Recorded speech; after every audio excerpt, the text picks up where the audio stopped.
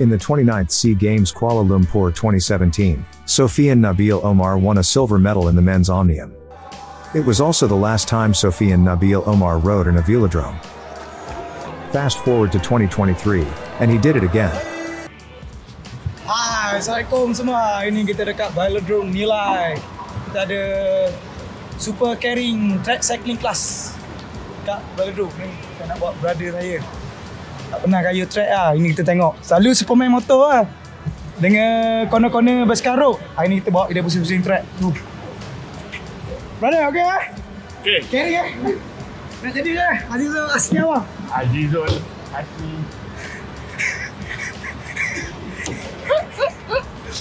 Okay lah. Ni. Ni santai punya eh. Kalau siapa nak sponsor untuk race National Champ boleh jumpa dengan saya punya manager. Kita boleh deal bersekarang untuk Champ. Allah. Sah. No! God, please, no! No! Kelas super carry. Ada bagi anda macam ni. Ini bukan carry. Ini baru betul. Ini barang lama belum. Tak ada jual punya. Sayang apa tu, brother? Ni. Berani mati? Berani mati ni. Langgar lari. Jangan. So hari ni kita nak jadi seperti Datuk Azizul Hasni Awang. Jadi kita kena pakai pakai arrow lah. Pakai pedal. Pakai pedal. Shhh. Ada rosak tak? Ha? Tak ada bro, gambar. Believe me bro. Yeah.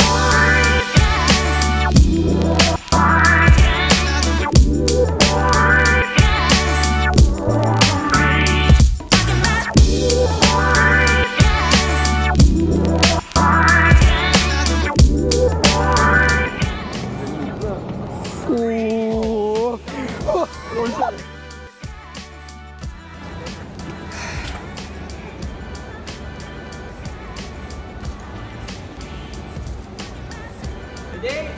Five, four, three, two, one, go.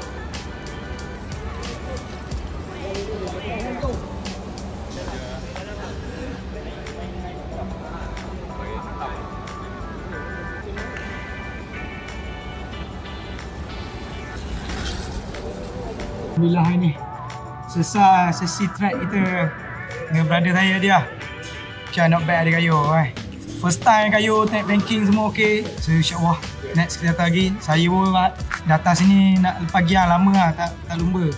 Last lumba pun The big game saya SEA Games 2017 uh, Last saya lumba kat Milan ni lah. So next lah. Orang cakap rindu boleh. Kembali tu insyaAllah ada rezeki. Ada rezeki kita comeback. Uh, Kalau ayat-ayat Ayat-ayat TikTok Rindu boleh kembali jangan. Tapi untuk track Rindu boleh kembali insyaAllah. Ada rezeki.